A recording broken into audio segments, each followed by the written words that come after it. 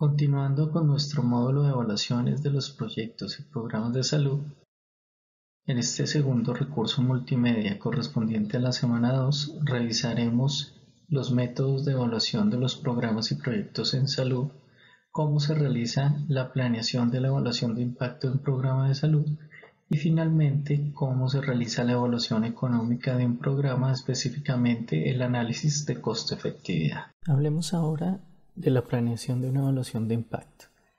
Es importante tener en cuenta estos pasos iniciales como son construir una teoría del cambio que escriba cómo se supone que el proyecto logrará los objetivos previstos, elaborar una cadena de resultados que sirva como instrumento útil para esbozar la teoría del cambio, especificar las preguntas de evaluación, seleccionar los indicadores para evaluar el desempeño y como complemento incluir la evaluación de costo-beneficio o costo-efectividad si es pertinente. Respecto a la teoría del cambio, es importante que se describa una secuencia de eventos que generan los resultados, se analicen las condiciones y se revisen los supuestos necesarios para que se produzca el cambio.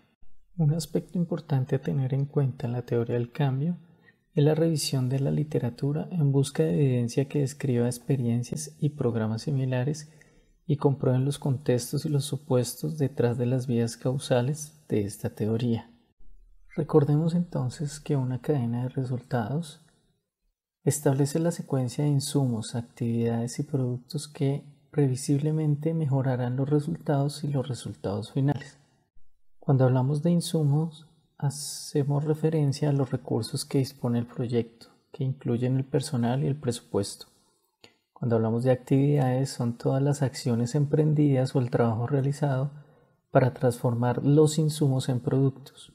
Cuando hablamos de productos, hacemos referencia a los bienes y servicios tangibles que producen las actividades del programa.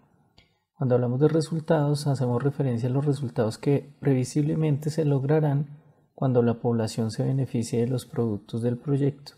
Y los resultados finales serían esos resultados alcanzados que señalan si los objetivos del proyecto se cumplieron o no. En cuanto a las preguntas, es importante tener en cuenta que la especificación de las preguntas de evaluación se deben estructurar como una hipótesis comprobable, esto generalmente en las evaluaciones de impacto. La evaluación de impacto luego generará evidencia creíble para responder a esta pregunta. Un ejemplo de una pregunta de evaluación de impacto puede ser cuál es el impacto o el efecto causal de un programa en un resultado de interés. Otro ejemplo podría ser cuál es el efecto del programa de subsidios de seguros de salud en los gastos directos en salud de los hogares pobres. Como aspectos claves respecto a la planeación de las preguntas de la evaluación, es importante que la pregunta sea clara y que sea el punto de partida de cualquier evaluación efectiva. La pregunta de evaluación debe orientarse según el interés central de las políticas en cuestión. El paso a seguir ahora es especificar los indicadores para evaluar el desempeño. Recordemos que una pregunta clara de la evaluación debe ir acompañada de la especificación acerca de qué medidas de resultados se utilizarán para evaluar el desempeño del programa, incluso en el caso de múltiples resultados. Las medidas de resultados seleccionadas se usarán para establecer si un programa determinado tiene éxito o no en la población diana. Luego se debe definir los objetivos en lo relativo al éxito del programa. El tamaño del efecto son los cambios previstos como resultado del programa. El tamaño del efecto previsto son la base para llevar a cabo cálculos de la potencia. Una cadena de resultados articulada con claridad proporciona un mapa útil para seleccionar los diferentes indicadores de interés del programa en cada una de sus acciones o actividades. Seleccionar los indicadores a lo largo de toda la cadena de resultados es de vital importancia. Como aspecto claves, en el tema de indicadores debemos tener en cuenta lo siguiente. Los buenos indicadores son específicos, medibles, atribuibles, realistas y focalizados. Hay que tener mucho cuidado con el tamaño de la muestra para que no exista déficit de potencia. Si hay datos disponibles y de calidad es posible realizar simulaciones ex ante para observar diferentes escenarios. Recordemos también que las evaluaciones ex ante se puede utilizar para revisar indicadores de costo-efectividad o costo-beneficio. Ahora es el momento de elegir un método de evaluación de impacto. Pero ¿qué método usar en un determinado programa? La clave para identificar el impacto causal de un programa de salud consiste en encontrar un grupo de comparación válido para estimar el contrafactual y responder a la pregunta de interés de la política pública. Es importante recordar un concepto clave, y es que las reglas operativas de un programa determinan qué método de evaluación de impacto es el más adecuado para evaluar el programa y no la inversa. Recordemos que el contrafactual se puede expresar de la siguiente manera. ¿Cuál habría sido el resultado si una persona no hubiera participado en ese programa? Uno de los métodos que se puede utilizar para la evaluación de impacto es la asignación aleatoria, que básicamente su descripción hace referencia a las unidades elegibles que se asignan de forma aleatoria a un grupo de tratamiento o de comparación y tiende a generar estimaciones de impacto internamente válidas con los supuestos más débiles. Otro de los instrumentos que se pueden usar para la metodología de evaluación de impacto son las variables instrumentales, que es un instrumento aleatorizado que induce cambios en la participación en el programa que se evalúa.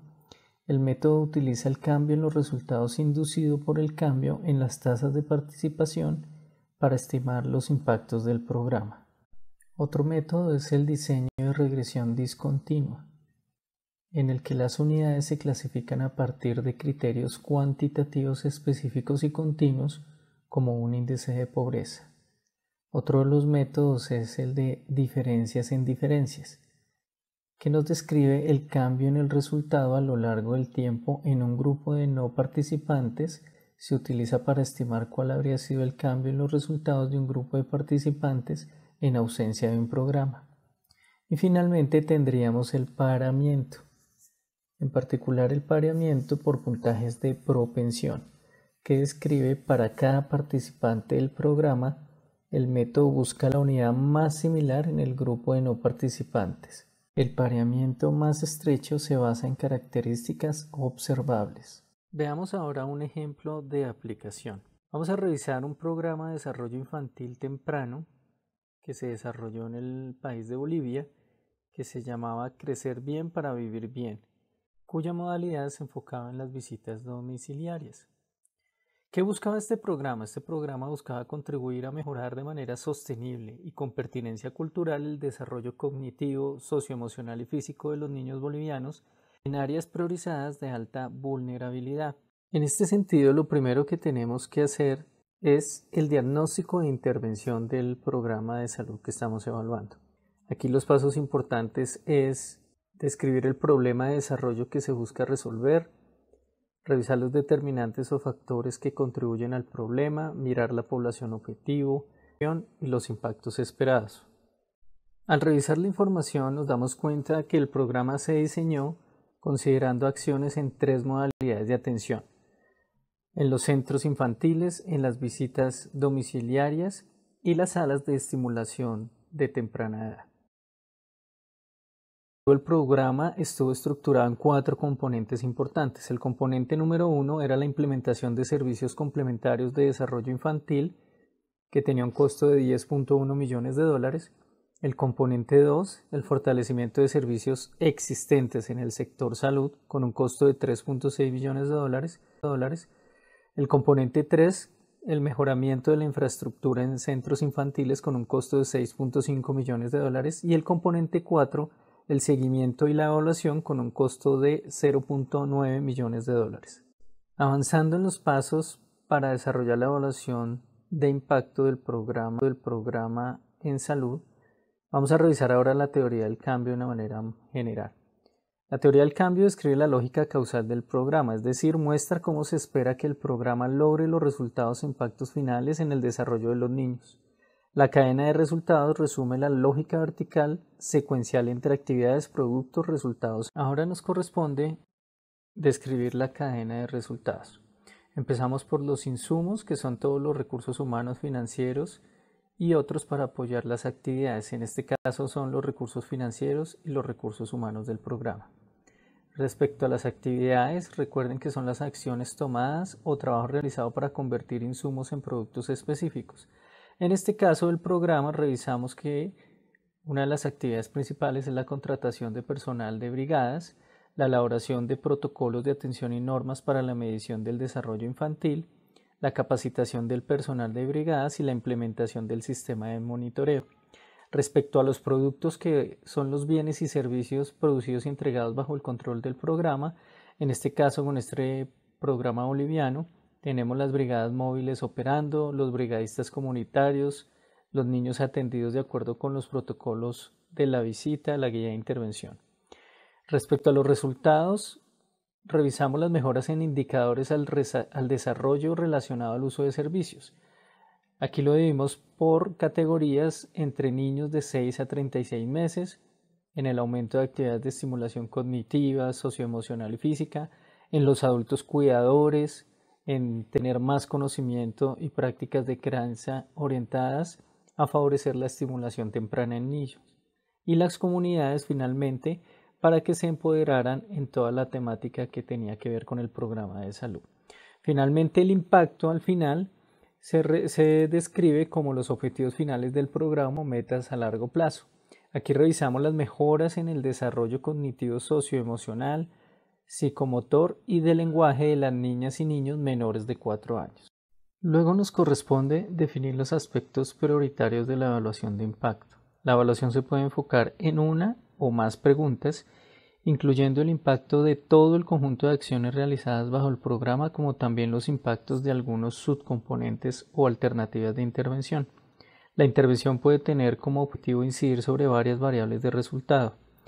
En este caso, para el programa boliviano Crecer bien para vivir bien, el objetivo y preguntas que tenemos son las siguientes.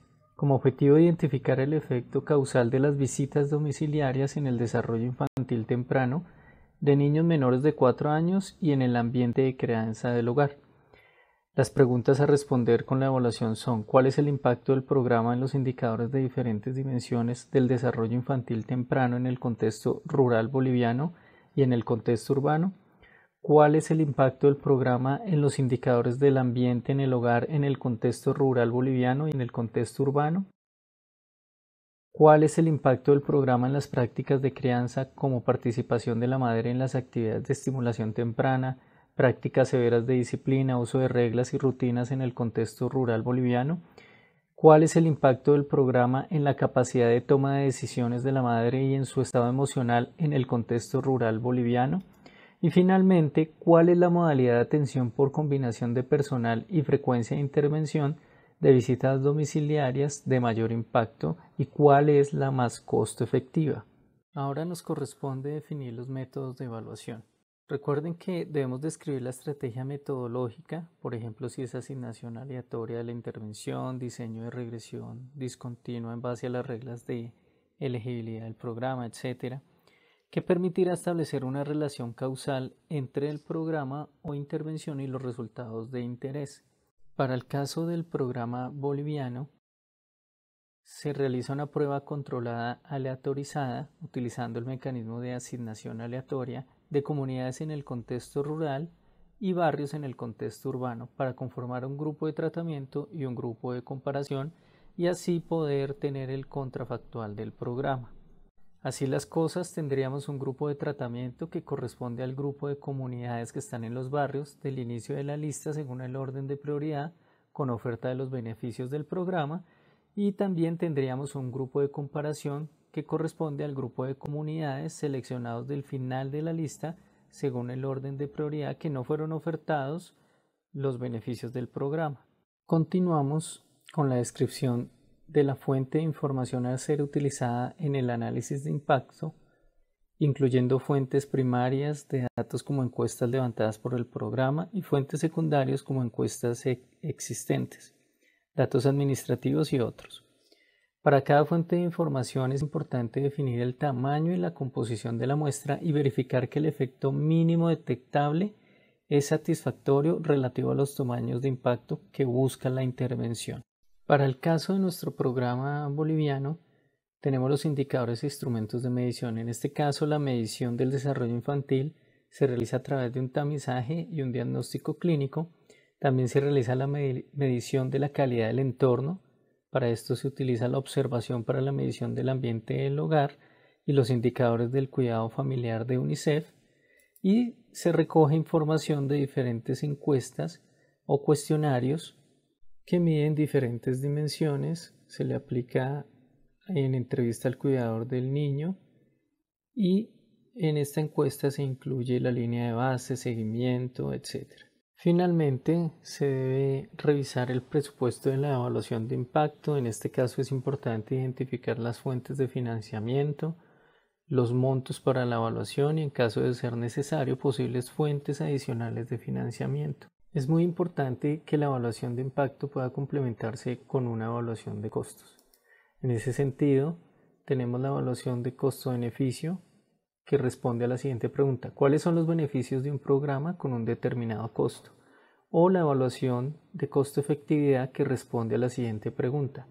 ¿Cómo se comparan diversas alternativas de implementación en cuanto a su costo-efectividad? Recordemos que el análisis de costo-beneficio estima los beneficios totales esperados de un programa comparado con sus costos totales esperados y el análisis de costo-efectividad compara el costo relativo de dos o más programas o de alternativas de programas para alcanzar un resultado común. Es momento ahora de realizar la autoevaluación y responder la pregunta de esta semana. ¿Cómo se debe definir el objetivo y tipo de evaluación y cómo se lleva a cabo esa planificación de una evaluación de impacto en un programa de salud? Para ello, por favor, leer las lecturas complementarias y revisar este recurso multimedia. Para terminar es importante hacer un repaso de lo estudiado y lo visto en este recurso multimedia. Recordemos que la evaluación de impacto tiene que ver con generar evidencia sobre qué programas funcionan, qué programas no lo hacen y cómo mejorarlos para lograr mejores resultados en materia de desarrollo en un país. Esto se puede realizar en un marco clásico de evaluación de impacto, contrastando los resultados entre grupos de tratamiento y comparación. Las evaluaciones de impacto también se pueden llevar a cabo para explorar alternativas de implementación de un programa, para probar innovaciones o analizar diferentes programas con el fin de evaluar el desempeño comparativamente. Entonces recordemos de una manera sistemática y en resumen qué debe contener la planeación o un documento de planeación de la evaluación de impacto de un programa. Lo primero es la introducción, donde describimos qué es lo que vamos a encontrar en ese documento. Después hacemos la descripción de la intervención, mirando todo el tema del componente teórico. Definimos los objetivos de la evaluación, las hipótesis, teoría del cambio, la cadena de resultados, las preguntas de políticas, los indicadores de resultados clave, los riesgos. Pasamos al diseño de la evaluación, después el muestreo de los datos, la visión general del plan de preanálisis, cómo se va a recolectar o recoger la información, es el plan de recopilación de los datos, los productos por entregar, si voy a entregar un informe de línea de base, un informe de evaluación de impacto, una nota informativa sobre las políticas, las bases de datos, los diseños y los protocolos de análisis, un plan de divulgación, un protocolo ético sobre protección de los sujetos humanos, un calendario, un presupuesto y la composición y roles del equipo de evaluación. Recordemos siempre que algo complementario es la evaluación económica del programa de salud, donde revisaremos los costos, el costo-beneficio y el análisis de costo-efectividad.